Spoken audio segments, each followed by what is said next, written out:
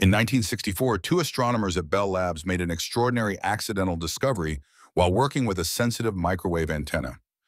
Arno Penzias and Robert Wilson were puzzled by a persistent background noise that their antenna kept detecting, no matter where they pointed it in the sky.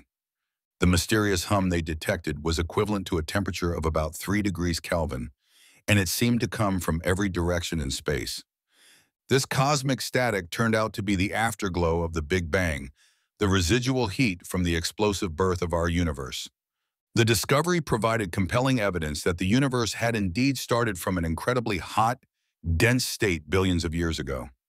The cosmic microwave background radiation serves as a kind of fossil light, preserving information about the universe when it was just 380,000 years old.